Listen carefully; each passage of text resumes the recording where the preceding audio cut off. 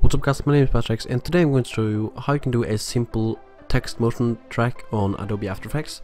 So the first thing that you want to do is to track your clip and how you do that is by right clicking the clip and click on track camera. And then it's going to start analyzing the clip and yeah so this takes a bit a little bit of time so I'm just going to skip this and now you have tracked the clip. So what you want to do now is to find a good uh, track and you just play around and see what looks be the best. And I think like this one is the best on my track or clip. So then you want to right click and click on create text and camera.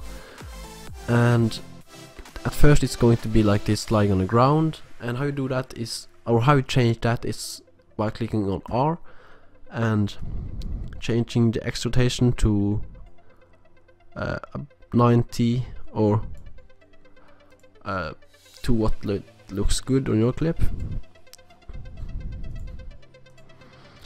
And now you have a simple motion track and how you can make this motion track a whole lot better is to make shadows and how you do that is quite simple.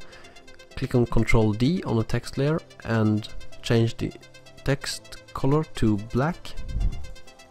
And then you want to click on R and change the rotation to about 5 or till it looks good uh, like there. And then you want to click on T and change the opacity to around 50 or to what looks good.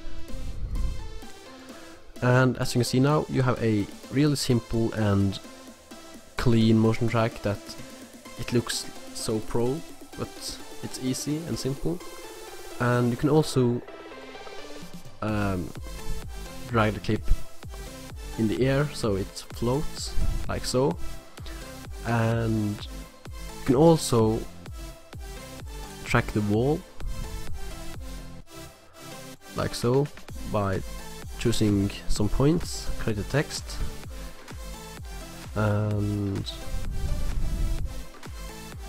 I'm just going to scale it so we can see it like so. And then you got a text on the wall motion tracked. So that's how you motion track text on Adobe After Effects CC or Adobe After Effects CS5 and above I think so please leave a like, uh, comment whatever you want, and please subscribe. So yeah, see ya guys.